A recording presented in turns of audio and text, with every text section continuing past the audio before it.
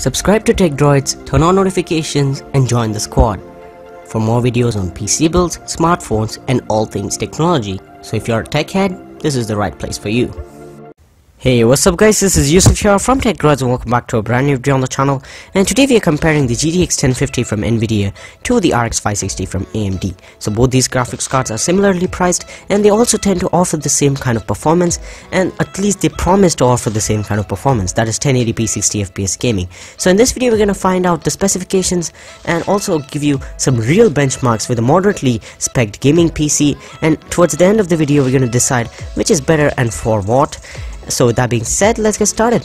So starting off with the EVGA GeForce GTX 1050, it comes with 2GB of GDDR5 memory, also has 640 CUDA cores so it can help in Adobe Premiere Pro rendering, takes only 75 watts of power and has no external power requirement so it can work only off of your motherboard, comes clocked at 1354 on the base and 1468 on the boost so it is factory overclocked and works on 128-bit memory interface, has one HDMI, one DVI and one DisplayPort and retails for only $110. Moving on to the RX 560, the Sapphire RX 560 I should say, it is available in both 2 and 4GB flavors, but today in this video we're using the 4GB variant to keep it more practical and real and also similarly priced.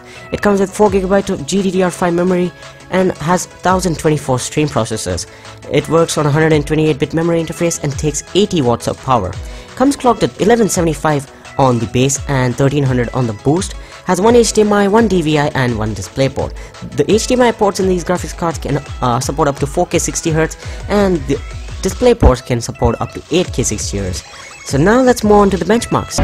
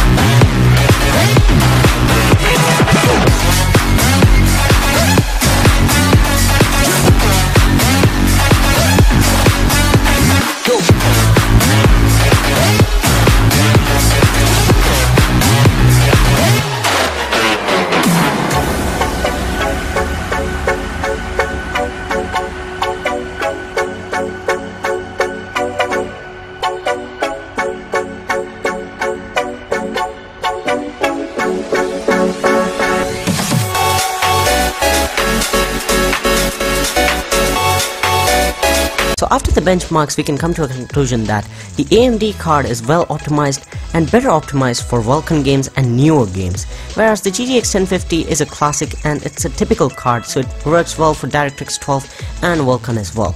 Now it depends upon your personal preference on what uh, you want and which company you prefer the most because both these cards perform really well and none of them is bad at anything. Both of them will do good at gaming, whereas the AMD would support newer games well and the GTX 1050 will do well in DirectX 12 titles.